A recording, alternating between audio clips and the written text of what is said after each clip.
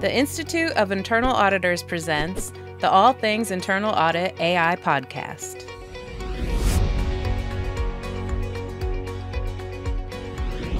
Can you help differentiate between the concepts of artificial intelligence, machine learning, deep learning, and generative AI? So, artificial intelligence in general is a concept. It's the idea that something will mimic human intelligence. It's going to be artificial, so that's why it's artificial intelligence. And then there's ways to train artificial intelligence, and it'll be machine learning, it'll be deep learning. These historically have been used for predicting what humans would want to do, and it's actually embedded in your daily lives. So if you're listening to Spotify, Pandora, watching YouTube, at the end it'll say, We recommend this, we recommend that. That's all based on how it's learned. And it, machine learning and deep learning are ways it's learned. Generative AI is kind of the new current hype, and it's more about how AI can help you um, and it'll be less in the background and more in the forefront. So you ask it to do something, and now it'll generate something. So generative AI. So that's kind of the big differentiators between the three. It's very interesting. Why do you believe basic forms of AI are ready for use in internal audit? So, with basic forms of AI, I would interpret that as generative AI, and I believe it's ready for usage because our group currently uses it for a lot of our planning materials and a lot of our reporting materials. So, I believe it truly is uh, capable of being used right now. And what are some ways auditors can incorporate AI into their workload? For auditors, we like to create risk control matrices.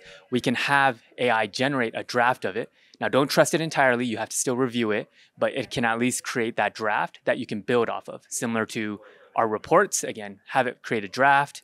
Um, a lot of auditors that I've worked with, they're not fans of process narratives, but they do love making process flowcharts.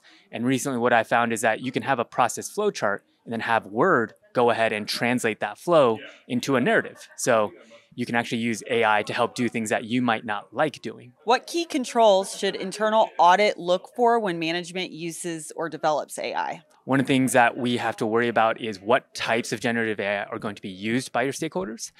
Uh, it's similar to when cloud first came out. A lot of our stakeholders would use different cloud providers. They didn't even know which one they were supposed to use, which one they were allowed to use, what kind of data they were allowed to put on there. It's going to be very similar when it comes to generative AI. There's so many tool sets out there, and the question is going to be which one are you allowed to use? Which one are you allowed to, to pay a subscription for? And when you do pay a subscription for it, what type of data are you allowed to put into it?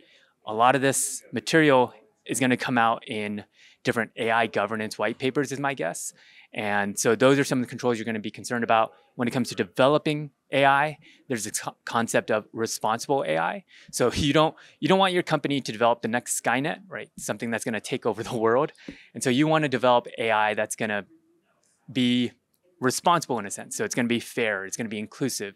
Uh, you're, you're going to have to make it transparent so that when you're using AI, that your customers know that they're using AI, and you're absolutely going to want to ask your stakeholders how do you know how your AI actually works? A lot of AI could be a black box. So they just put data in, they see the output, and they hope for the best. So that's something you don't want to hear. You're going to want to ask them how do you know that what you developed is actually working the way it's supposed to? Thank you so much for your time today. Enjoy the rest of the conference. Yeah, thank, thank you. you. All right.